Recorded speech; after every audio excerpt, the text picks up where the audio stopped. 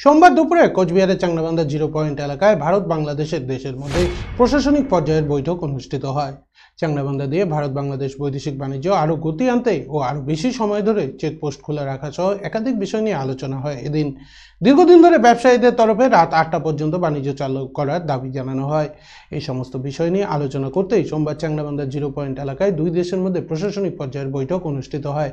সেই বৈঠকে ভারতীয়দের তরফে শুল্ক দপ্তরের অ্যাসিস্ট্যান্ট কমিশনার নিমা লামু শেরপা, বিএসএফের একশো একান্ন ও আটানব্বই ব্যাটালিয়নের সিও অজয় কুমার এবং দীপক কুমার প্রমুখ উপস্থিত ছিলেন বাংলাদেশের তরফে রংপুর সেক্টরের ডিসি আব্দুল হালিম, বুড়িমারি স্থলবন্দরের কর্মকর্তা মোহাম্মদ আব্দুল লতিফ প্রমুখ উপস্থিত ছিলেন। এছাড়াও বৈঠকে ভারতীয় ব্যবসায়ী ও কাস্টমস ক্লিয়ারেন্স এজেন্ট ওয়েলফেয়ার অ্যাসোসিয়েশনের প্রতিনিধিরা অংশ নিয়েছিলেন।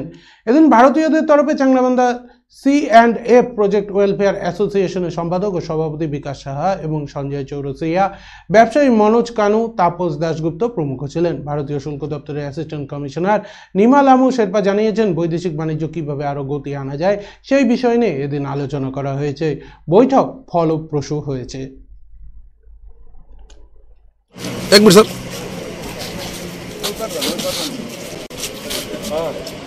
হবে স্যার, হবে। আসেন আসেন, স্যার, আসেন। പോട്ടുമാർ